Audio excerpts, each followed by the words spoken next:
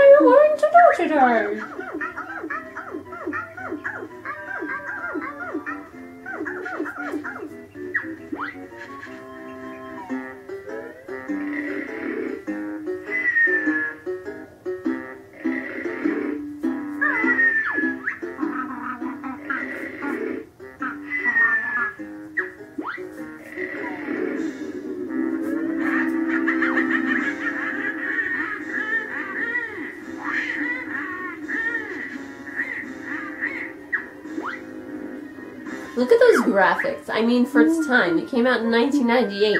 Rareware is honestly my favorite game company, but otherwise, Rareware has been ma- making very good game. Uh, uh, I don't want to say that because they've made Banjo Kazooie nuts and bolts, and look at it, it sucks. Honestly, sorry to putting you down. Xbox and Rareware, my favorite game company, but still, it's not a good game.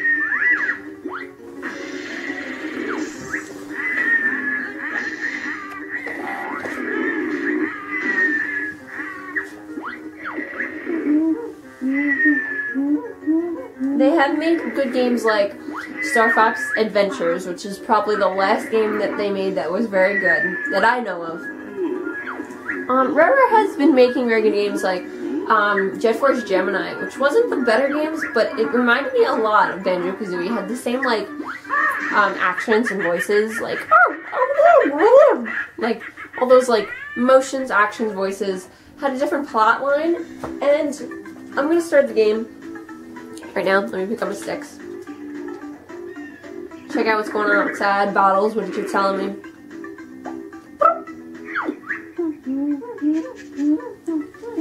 Let me move you over a little bit. I'm Banjo, here's my buddy Kazooie. And this, honestly, since I was six, it's been one of my favorite games.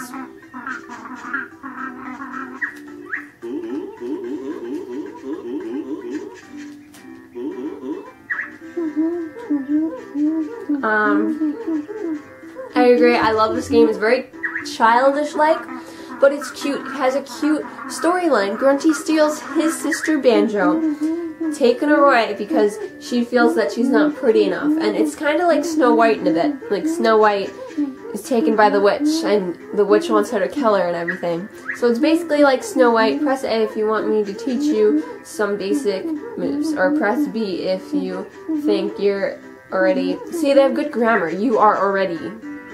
No, B. You bet we're good enough, bottle brain. They have cute little fl- cute little sayings and go-to movements. But it's very cute. I love this game. I'm glad this will probably be my fifth Let's Play.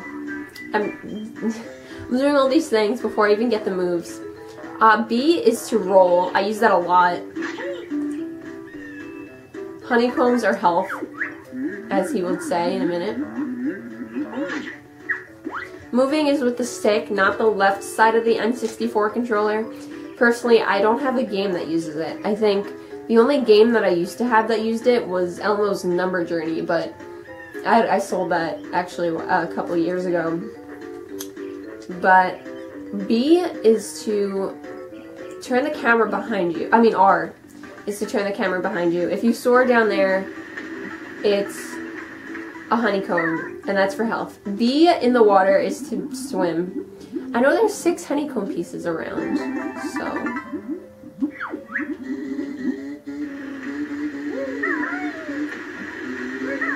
If you press A, it's to jump or fly in Kazooie's way. I never noticed this, but Kazooie is a girl, and Banjo is a guy, so I gotta get used to that. I think Z and then A is to super jump. In the second game, you could do another super jump, which is pretty nifty. Game is really fun. Ugh.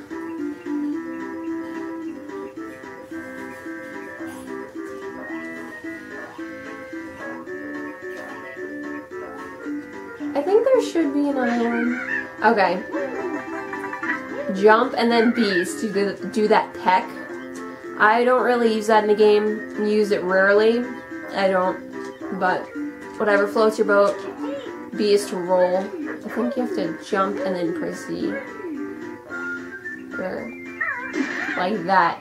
You do that, you press Z and then B. I'm not doing the tutorial. I pretty much know the game. I'm sorry I don't do the tutorial. But in when you get used to the game, you learn more about it and it tells you what to do, how to use it and stuff. I think up here is a honeycomb. Maybe it's the other tree. I don't really know. Boom, I killed a cauliflower.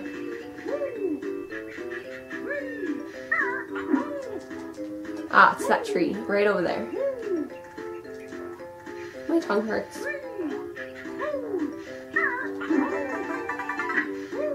I'm pretty sure the other honeycomb piece...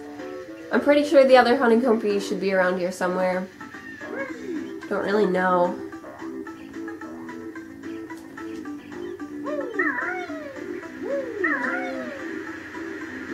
Yeah.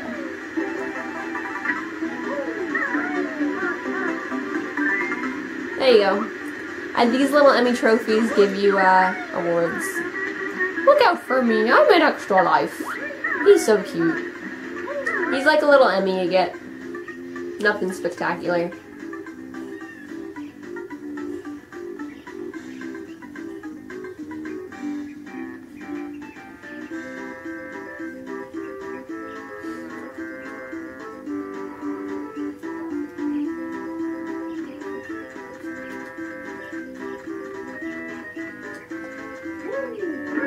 Talking to bottles.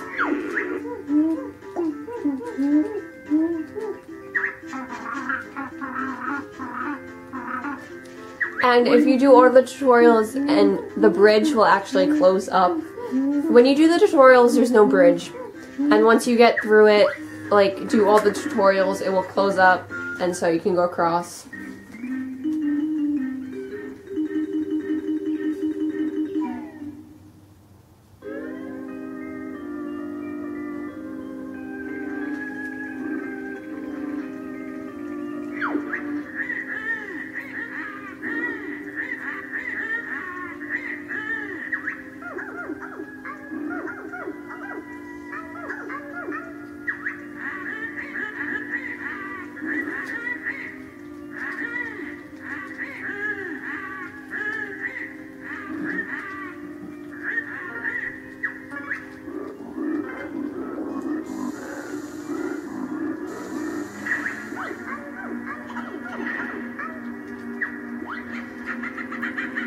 Every time you do a game over, it shows you what the rest of the movie of that was going to be about.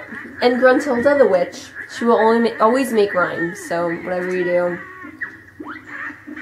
she'll always make rhymes. My tongue hurts.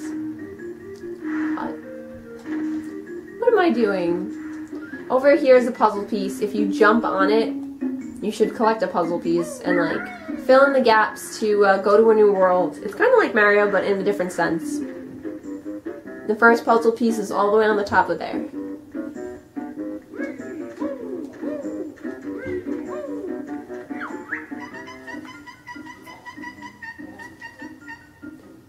Each of them has little voices, so it's cute.